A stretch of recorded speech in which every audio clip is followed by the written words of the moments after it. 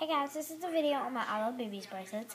So let's just get started. I'm just going to show them to you. Okay, let me set my video camera down. There we go. So first I have this silver one.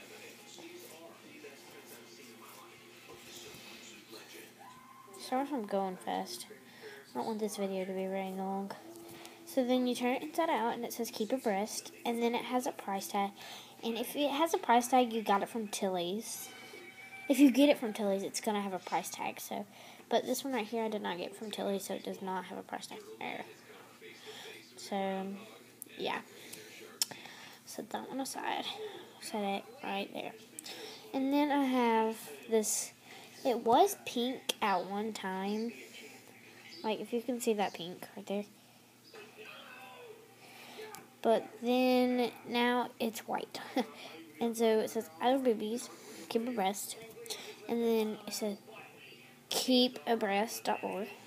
And it does not have a price tag because, once again, I did not get it from Tilly's. So just setting that one there. There we go.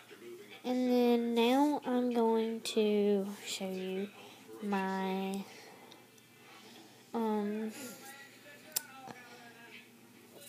what is word? White and gold. Sorry.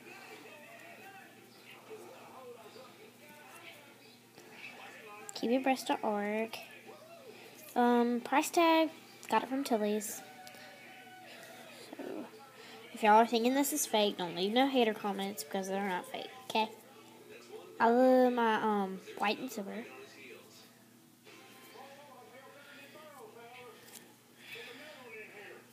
Keep abreast. Price tag Tilly's. Okay. Okay, last but certainly, certain, certainly not least, this is my favorite. Black and gold for saints. I love boobies. Keep abreast. Keepabreast.org. Price tag, Tilly's.